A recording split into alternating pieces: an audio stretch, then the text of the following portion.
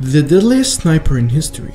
Simo Häyhä was a Finnish sniper who joined in the defense of his nation from Soviet attack during the Winter War of 1939. His sniping skills were quickly put to work, and soon his exploits earned him the nickname the White Death by Soviet troops. Indeed, Simo killed over 259 Soviets using a scopeless Finnish Mosin Nagant rifle and 246 more via a submachine gun in less than 100 days of fighting, making him history's deadliest sniper with 505 confirmed kills under his belt. Tired of this White Death, Soviet commanders dispatched countless sniper teams, only for said sniper teams to be wiped out by Simo. However, one Soviet sniper got lucky and hit his jaw with an exploding bullet, disfiguring him in the process. Häyhä was successfully operated on, yet he regained consciousness after peace was signed in 1940. Häyhä later died in 2002 aged 96.